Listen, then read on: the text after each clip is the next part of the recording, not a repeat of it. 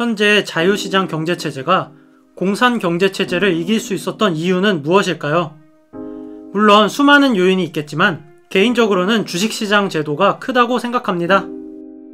이익을 추구하는 개인의 자유로운 경쟁이 사회적인 부를 낳는다는 애덤 스미스의 말처럼 이익을 위해 주식 투자를 하는 투자자들 덕분에 특별한 아이디어나 재능이 있지만 투자금이 없어서 사업을 진행할 수 없는 회사들도 회사의 지분을 투자자에게 팔아서 사업을 할 수 있었고 이런 생태계가 국가를 먹여 살리는 경쟁력 있는 기업들을 만들어내게 되었죠.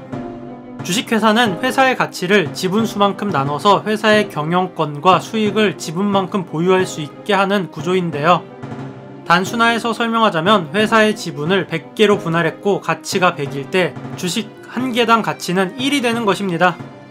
사실 이런 지분 투자는 매우 유용해서 현재는 건물을 살 돈이 없어도 건물주가 될 수 있는 리츠 같은 상품이 유행하기도 합니다. 간단히 말해서 이렇게 지분을 투자해서 투자자가 이익을 볼 수 있는 방식은 자산의 가치가 존재하고 수익이 나오는 모든 상품에 적용할 수가 있는데요. 이는 역시나 저작권에서도 적용이 가능할 겁니다. 저작권의 보호를 받는 어떤 노래가 플레이되거나 공연, 방송 등에서 사용되게 되면 원 저작자에게 저작권료가 돌아가게 됩니다. 노래가 리메이크 되거나 역주행됐을 때도 마찬가지죠. 수익의 권리는 원작자에게 있고 원작자는 엄청나게 상승한 수익률을 얻게 됩니다. 그런데 이러한 권리를 대중들과 나눠 가질 수 있다는 게 굉장히 중요한 점입니다. 근데 여기에서 에이, 근데 저작권은 사고 팔 수 없는 거 아니에요? 라고 질문할 수도 있는데 이 내용에 대해 알려면 저작권에 대해 조금 더 자세히 알아봐야 됩니다. 저작권은 크게 인격권, 재산권, 인접권 이 세 가지로 나누어지는데 우리들이 보통 저작권을 사고 팔 수 없다고 생각하는 개념은 인격권을 의미합니다.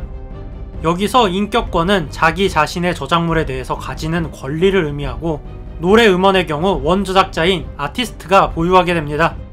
그에 비해 재산권은 이 저작권을 통해 공연이나 방송 등의 활동으로 수익을 얻을 수 있는 권리에 해당하며 이런 역할을 할 수 있는 권리가 인접권인 것입니다. 재산권이나 인접권은 타인에게 양도하거나 거래할 수 있는 것이고 음원 판매 수익도 여기에서 발생합니다. 결국 저작권의 인격권의 보호 덕분에 원 저작자는 자신의 저작물의 권리를 법적으로 보호받을 수 있으면서도 재산권을 통해 저작권의 공연, 방송 등으로 수익을 얻게 되는 것인데요. 재산권과 인접권을 보유한 저작권자가 이것을 여러 사람과 함께 공유할 용의가 있다면 우리는 이것의 지분을 공동으로 구입해서 소유하고 그 지분만큼 저작권으로 발생하는 수익을 나눠 받을 수 있다는 것입니다. 그렇다면 이런 저작권은 대체 어떻게 거래할 수 있을까요? 이런 저작권을 거래해주는 사이트가 바로 뮤직코인이라는 사이트인데 링크는 아래 영상 설명에 첨부드리겠습니다. 뮤직코인은 세계 최초 음악 저작권 공유 플랫폼으로 한마디로 주식시장의 증권사 같은 거래 창구 역할을 합니다. 주식 거래와 비슷한데 우리는 뮤직코인을 통해서 투자자 간의 저작권을 사고 팔 수 있고 저작권을 보유해서 매 월마다 주식 배당금처럼 수익금을 받을 수도 있습니다. 그리고 새롭게 상장되는 음원 저작권을 경매를 통해 입찰할 수도 있는데요. 이거는 주식시장에 상장되는 주식 공개 상장, IPO와 유사하다고 볼 수 있습니다. 거기에다가 저작권을 1년 보유했을 때의 저작권료 수익률은 2008년 기준 평균 약 12.4%이고 유저 간 거래에 따른 판매 수익률은 평균 약 16.9%라고 하니 주식에서 웬만한 배당주 저리 가라 할 정도의 수익률을 보여주고 있습니다. 거기다가 저작 재산권은 원 저작자 사후 70년까지, 인접권은 발매일로부터 70년까지 저작권 수익을 보장받을 수 있다고 하는데요. 여기까지만 들으면 좋은 음악 저작권을 사기만 하면 리스크 없이 저작권 수익을 챙길 수 있는 그런 마법 같은 상품처럼 보이기도 하는데요. 음, 뮤직코인. 묻고 더블로 가? 그런데 이 상품에 리스크가 있지 않을지 저처럼 의심을 하는 많은 사람들을 위해서 제가 뮤직코인 담당자에게 질문한 내용들을 통해서 좀 더 자세히 영상에서 알려드리도록 하겠습니다. 일단 사람들이 첫 번째로 할 수 있는 걱정은 음원 저작권을 샀는데 뮤직코인이란 사이트가 사라지거나 망하면 어떻게 되지? 하는 걱정이 있을 수 있을 텐데요. 하지만 이는 비트코인과 전혀 다릅니다. 뮤직코인은 거래소의 역할만 할 뿐 실제로 저작권을 구매하게 됐을 경우에 한국 저작권 협회로부터의 보호를 받게 됩니다. 이것은 마치 주식시장에서 키움증권을 통해서 거래를 했는데 키움증권이 망한다고 해도 내 주식이 사라지지 않는 것과 동일합니다. 두 번째로는 아니 1년에 수익률이 저렇게 높으면 원 저작자는 대체 왜 저작권을 파는 거야? 하는 합리적인 의심을 해볼 수도 있을 것입니다. 이는 주식시장과 동일한데 제가 투자금 대비 1년에 연 20% 수익률이 나는 사업 아이디어가 있을 때 지식보관소 코퍼레이션이라고 하는 회사를 만들려고 하는데 투자금이 1억밖에 없다면 그냥 1억만 투자하고 연 2천만원 수익을 받고서 만족을 해야 될까요? 당연히 주식시장에 상장하는 기업들은 회사의 지분을 팔아서라도 1억을 10억으로 만들고 2천만원을 2억으로 만드는 게 이득이라고 생각하게 될 겁니다. 이익의 일부를 배당금으로 주주들한테 나눠주고 경영권의 일부를 넘겨준다고 해도 이득이 훨씬 더 늘어나기 때문이죠.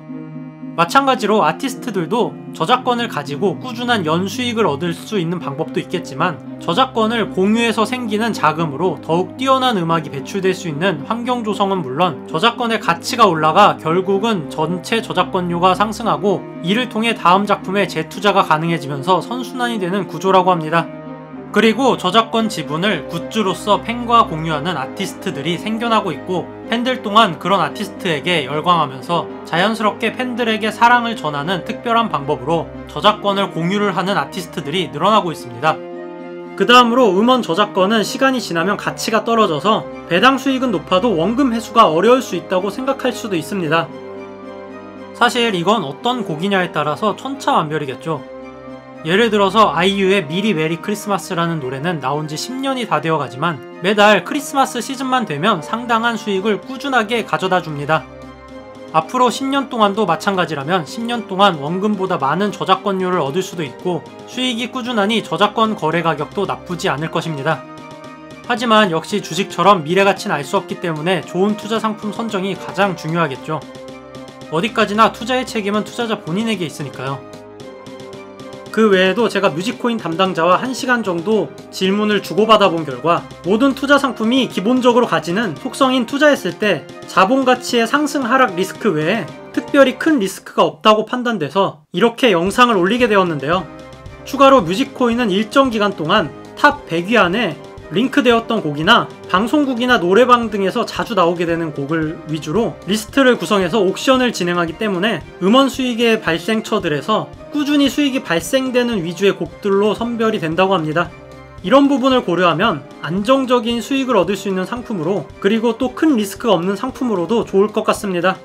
그리고 지금 보시는 것처럼 뮤직코인에서는 홈페이지 내 수익률 등을 개인적으로 예측해서 구매를 결정할 수 있도록 최근 12월 저작권료 데이터부터 과거 5개년 저작권료 그래프와 발생 매체 등 자세한 투자 정보들을 제공하고 있는데요. 이렇게 뮤직코인에서 제공한 그래프의 자료를 잘 검토하시고 신중하게 투자 판단을 하시면 좋을 것 같습니다. 만약 다른 우려사항이 있다면 뮤직코인 홈페이지에서 질문해보거나 댓글을 남겨드리면 제가 우려되는 부분은 물어봐서 답변을 드릴 수 있도록 하겠습니다.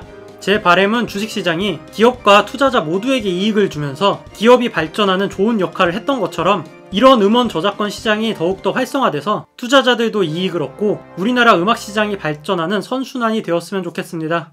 그럼 이만.